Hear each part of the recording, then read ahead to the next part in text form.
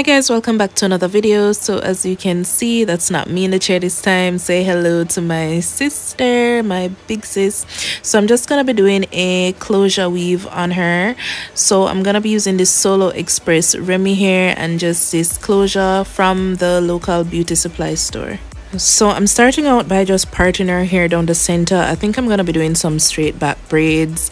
Um, her hair, she has a looser curl pattern so braiding her hair i started out just using well the hair in her scalp. And yes game kind of tight. Is here holding the roots a little bit just strokes.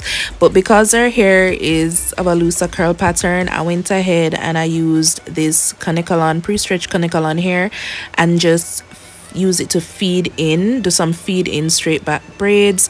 That just kind of added a little more anchor in her hair helped to protect her hair and made it a little bit like you know stronger for the sew-in so looking back um, on this video i don't think i would use this braid pattern again. I think i would definitely do a center part with two going to the side and the rest of them going back. But it's my first time doing a sew-in on someone else so practice makes perfect. So i'm gonna go ahead and use these oils on her scalp because you know say when i want no flakes no dry scalp here so just oiling up her scalp a bit and let's get into the meat of the matter so I'm gonna take those back pieces that she has and I'm just gonna stitch them up because I want the base to be as flat as possible.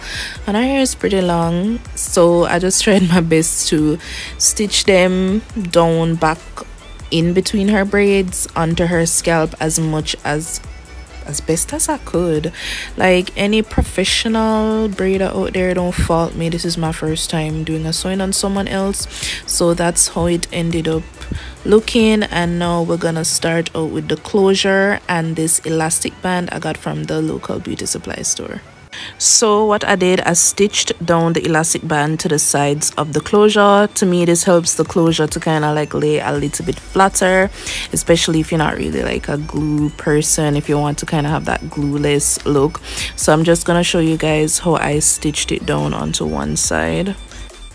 I really didn't do any fancy stitching. I kind of just knot the thread like you regularly would.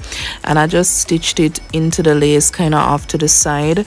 And I did like mm, measure the length how long I want it to be onto the side of her head. But I didn't really do any fancy stitching but I didn't do it like tight where I would pull and tear the lace because you know if you tear the lace it destroy the closure.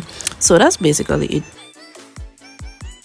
So now that I finished sewing I just kind of gauging how it's gonna look just kind of pulling it down to where I want it to stop because I'm gonna sew down that elastic band onto her braids as well. Because like I said earlier it's kind of gonna stretch the closure and help it to lay flat because this is gonna be like a glueless lace closure weave. So after I measured it I just showed you guys how long it is. I'm just taking a little bit of the got2b glue and brushing back her edges at the top where the closure is gonna lay just a little bit so right here i'm just getting some powder like her skin tone powder. And i started out by just dusting it onto like where the knots were. But then i realized because i didn't bleach the knots or anything because I never have no time for all of that honestly. I did take some liquid concealer. That was her complexion as well. And i just tapped it lightly onto the lace not a lot because with the liquid concealer it does get kind of cakey and it can look kind of mucky but just a light tap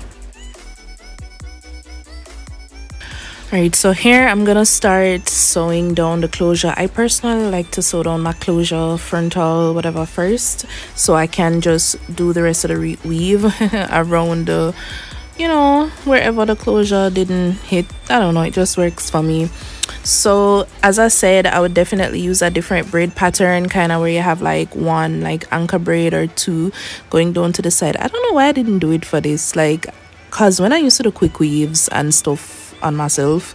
I used to like always do that type of anchor braid. I don't know i guess i was just trying something new and seeing what worked. With this hair thing i always tell people hair is just trial and error. You try something new. If it works it works. Great. If it doesn't it's okay. You move on and you try again.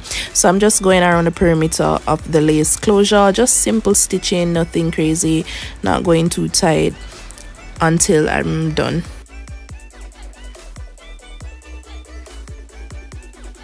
Alright, so now that I finished stitching down the closure, I'm gonna go ahead and stitch down the elastic band. So I found that this really and truly did help. This is what most people use when they're doing like glueless wigs or just glueless frontals or, or anything like that. And my sis, she didn't really want to deal with like that glue business. So I tried my best. So I stitched this down onto the braids and you can see why I said having two braids going down to the side instead of straight back would have been much better or much more practical or easier than doing it like this. It just would lay so much better. And then I didn't with this type of braid pattern I didn't want to put the elastic band too far on our edges because I didn't want it to rub on our edges and destroy them or anything. So definitely I would go in with a different braid pattern.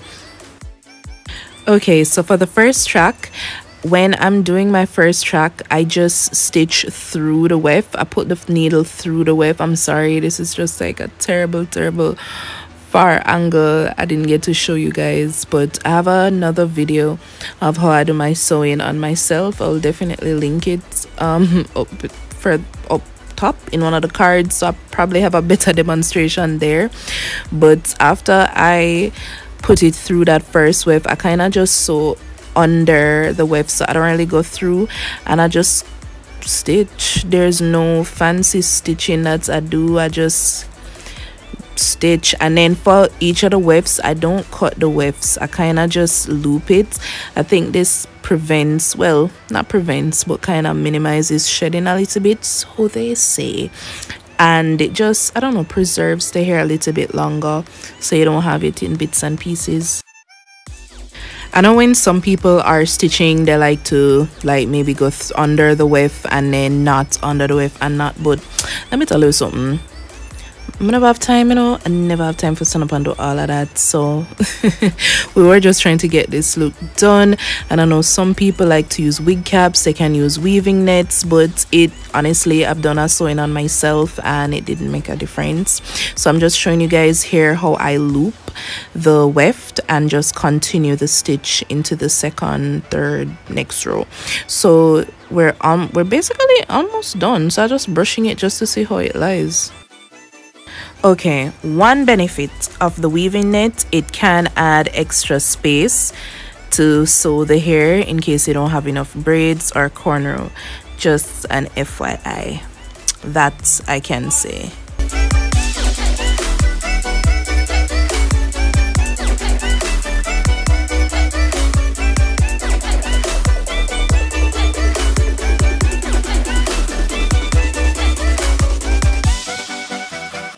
So right here i'm just gonna go ahead and close the space between the closure and the weave. So through the fur i'm gonna go through the weft just to help to anchor it so in case like she combing her hair brushing it or anything it doesn't like snap it out too easily. And then just continue sewing around the closure. So now that i'm done sewing all the wefts in i'm just gonna go ahead and flat iron the hair starting from the bottom up. And then i'm gonna be using the chase method. That's a can cantu heat protectant spray don't come for me guys cantu that's what i had that's what i use. And i'm just gonna use that comb chase method. Is that is that what they say? But my not really like a comb chase i'm using a brush but comb chase method. All right so since this is a glueless you know weeks closure weave. I'm gonna be using my got2b glue freezing spray. Um, i find that this has good hold for people who don't really want to mess with the glue and you know you still want to maybe you know rinse it off a little easier or something. So i just held down the closure and I sprayed the freezing spray along the closure right at where the hair is. I'm gonna grab my molding wrap. I can never be without my molding wrap and just hold it down. So then I had, I kept the molding wrap on for a few minutes and then when I took it off, I just kind of cut the lace along where it stuck onto her skin. Then I'm gonna grab some more of the freezing spray and spray it more, like spray more of it on. If you have like pump it up spray that's probably even better. I know that works pretty well. Then i'm gonna go in with the molding wrap again to hold it down. Then i'm gonna grab my blow dryer and just blow dry let me tell you blow dryer and your freezing spray you're good to go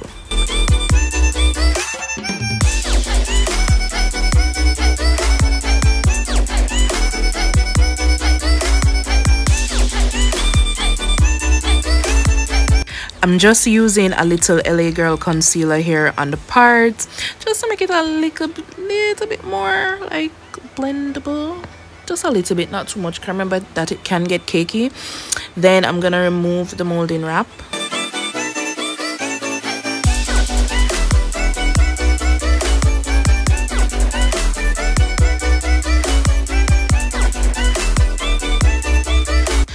so i'm just taking out a little bit of hair at the front to create well like baby hairs. You don't have to do this part if you don't want to but it's just to kind of camouflage the lace just a little bit. So i took out some long pieces and then i'm just gonna go ahead and get grab my mousse get some scissors. I'm gonna mousse them down because i think with the mousse it helps it to like lay a little bit smoother yeah i find it lays a little bit smoother than just a gel. I mean it's up to you really. So i just kind of molded it the way i want. This just feels kind of weird doing it on someone else because i'm so used to like doing that kind of swoop thing on myself. So i don't know. Like i don't know if it lean up or tangle up but yeah i just gonna go ahead and like mousse the top of her hair as well.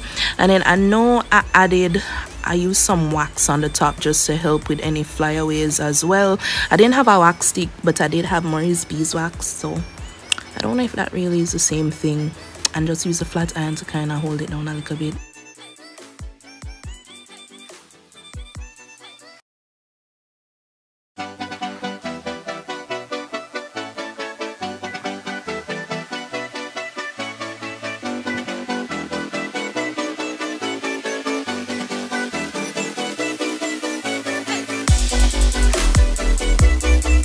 I didn't like how it looked just straight. So went ahead and added some jumbo flexi rods and then she's gonna leave those in overnight. So I did about maybe just like six simple flexi rod and then she went to sleep with them